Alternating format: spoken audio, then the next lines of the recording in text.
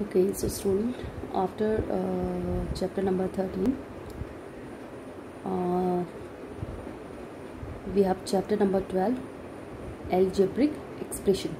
Okay one more thing chapter number thirteen में मैं uh, जो लास्ट एक्सरसाइज है थर्टीन पॉइंट थ्री वो मैं स्किप कर रही हूँ मीन्स वो हम लोग नहीं अभी करेंगे बिकॉज़ ये सेम uh, आपका क्लास एट में भी है revision of that exercise standard form and all so वो अभी नहीं करेंगे. लीव दैट एक्सरसाइज ठीक है? I have left so we'll start chapter number twelve algebraic expressions so algebraic expressions का स्टडी आपने क्लास सिक्स में भी हमने किया है जेब्रा में and in first term simple equation जो आपका चैप्टर है सिंपल uh, इक्वेशन उसमें भी आपने several different types of examples of expressions आपने देखे हैं, पढ़े हैं।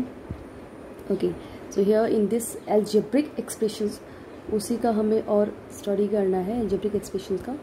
Okay so first of all L in algebra study about two types of number constant आपको पता है कि constant numbers numbers having a fix value जो नंबर का वैल्यू फिक्स होता है, वो हम कांस्टेंट नंबर बोलते हैं। And in algebra we study about the what a special type of number which is called variables तो वेरिएबल्स वो नंबर होते हैं जिनका वैल्यू फिक्स नहीं होता है। So variables do not have a fix value fix value नहीं होता है वेरिएबल्स का। तो वेरिएबल्स को हम डिनोट uh, करते हैं अल्फ़ाबेट से। ओके बिकॉज़ कांस्टेंट है कांस्टेंट में अगर मैं बोलूँ कि three girls are standing here तो थ्री गर्ल्स का मीनिंग थ्री होगा। ठीक है? Three is a fix value but अगर मैं बोलूँ कि X numbers of girls are standing here तो आप बता सकते हो कि X number of girls means कितनी गर्ल्स हैं।